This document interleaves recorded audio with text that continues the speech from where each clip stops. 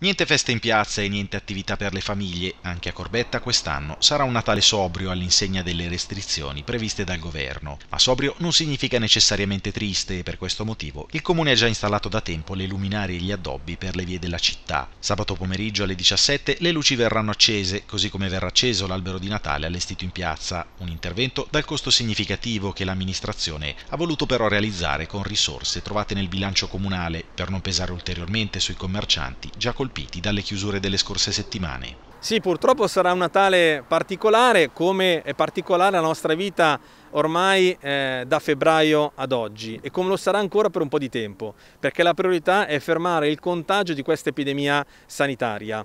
Eh, tutti gli eventi che avevamo pensato per il nostro Natale a Corbetta, un Natale che facciamo sempre in piazza con tante persone, tanti eventi per eh, bambini, famiglie, anziani, quest'anno purtroppo non ci potranno essere.